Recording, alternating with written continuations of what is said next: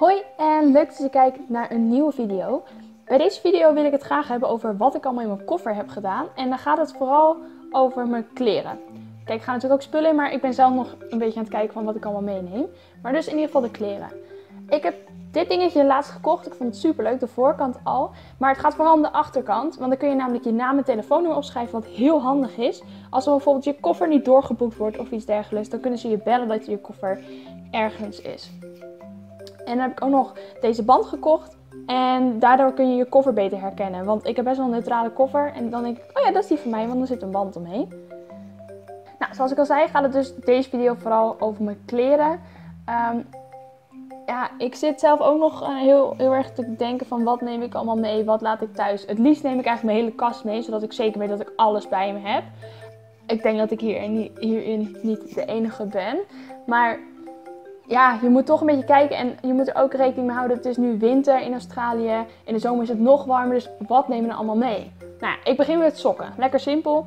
Ik begin ermee, maar ik doe ze pas als laatste in mijn koffer. En ik zal zo even vertellen waarom. Dan uh, korte broeken. Ik heb echt een stuk of 5, 6 korte broeken. Want ja, je kunt nooit te veel korte broeken hebben, denk ik. Lange broeken, wat ik al zei, het is nu winter in Australië. En winter is niet echt winter, want het is nog steeds 20 en 25 graden. Maar s'avonds kan het nog best wel eens afkoelen. Dus het is gewoon handig om even wat langere kleren bij je te hebben.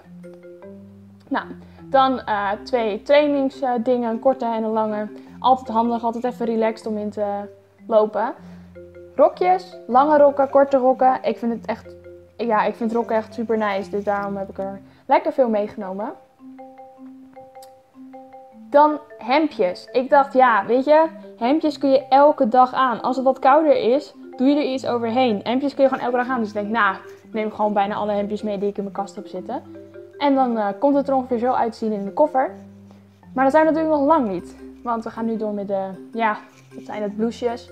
Altijd handig, weet je, als je iets anders luxer gaat doen, is, kun je ook altijd zo'n blouseje aan. Uh, ziet er leuker uit. En ja, ik vind blouses ook gewoon mooi. Dus Waarom niet, hè? Gewoon mee in de koffer.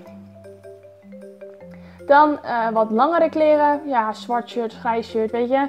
Als het nou echt, echt een keer wat kouder wordt, kan ik het wel aan. Maar ik vind dit nog prettiger, weet je. Gewoon vestjes, een bolero, uh, colbertjes en, um, en een sweater. Weet je, dat is gewoon lekker om s'avonds overheen te doen. Weet je, als tweede jaar gaat backpacken is het lekker om iets warmers mee te hebben om uh, voor s'nachts uh, dat ook te overleven, zeg maar.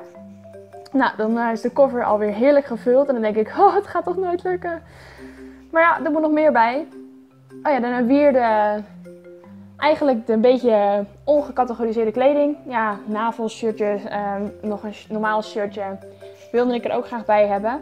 Dan jurkjes. Ik ben gek op jurkjes, dus ik wilde zoveel mogelijk meenemen. Ik heb korte, lange, um, wat luxere jurkjes gewoon allemaal in mijn koffer gedaan. Dan denk je, dat past toch echt niet? Nou, kijk, het past.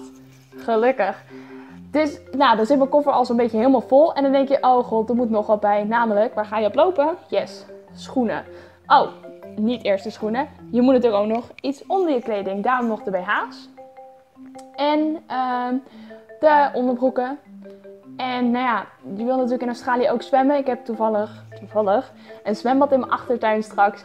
Dus bikinis zijn altijd welkom. Ik heb ook een wat strakkere, want als ik dan misschien wil gaan surfen, kan ik die strakkere aan. Dan de sokken. De sokken die prop ik overal tussen. Maar wat je ook kunt doen met sokken, wat ook heel handig is, is... Kijk, straks doe ik mijn schoenen nog in mijn koffer. Die schoenen, die schoenen, de sokken kun je in de schoenen doen, waardoor je schoenen mooier blijven. Want die worden natuurlijk allemaal een beetje op elkaar gedrukt. En er wordt echt niet lief met je koffer omgegaan hoor. Nee, wordt gewoon mee gegooid en weet ik veel wat is. Dus probeer met sokken of met andere kleine dingen ja, andere dingen te beschermen, zeg maar.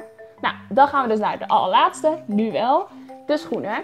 Nou, ik wilde wel genoeg schoenen mee. En voor alles wat ik nodig heb, wil ik wel, voor alles wat ik ga doen, wil ik wel schoenen. Dus gimpen, slippers, hakken, weet je. En alles doe ik in plastic zakjes, omdat het natuurlijk een beetje vies is, anders worden je kleren vies. En dat doe ik er ook bij.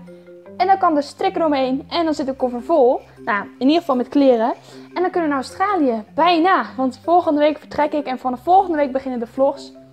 Wil ik nog even zeggen dat ik nog een video ga maken over mijn handbagage, wat ik daarin doe. En ja, dan kan ik echt gaan. En Ik hoop dat jullie er zin in hebben. Ik heb er heel erg veel zin in en dan wil ik jullie bedanken voor het kijken naar deze video.